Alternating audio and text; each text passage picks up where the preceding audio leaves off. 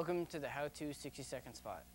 Today's show takes us to Vermont, where the local folks have invented a wonderful machine for passing the time of day.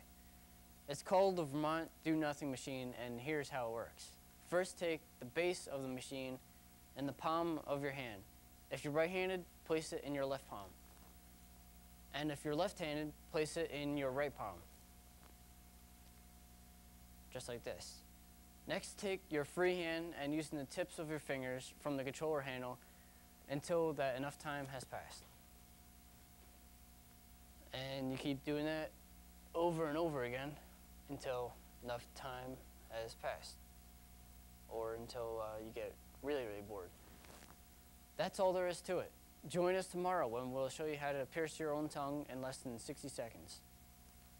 Thank you, and I will see you all tomorrow.